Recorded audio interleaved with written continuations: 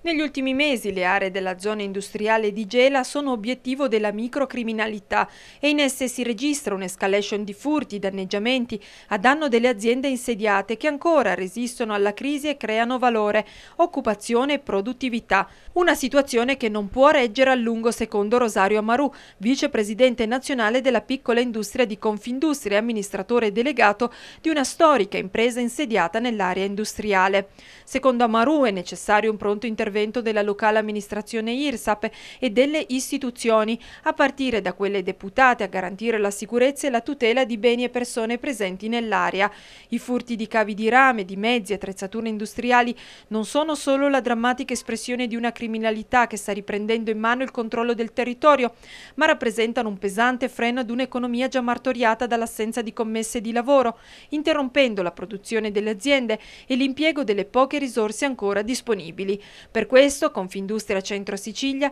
intende farsi promotrice di un'azione di rilancio dell'area e chiederà a brevissimo un incontro confronto con i dirigenti dell'IRSAP locale per valutare le azioni congiunte da attivare a tutti i livelli nell'interesse delle imprese e dell'economia del territorio.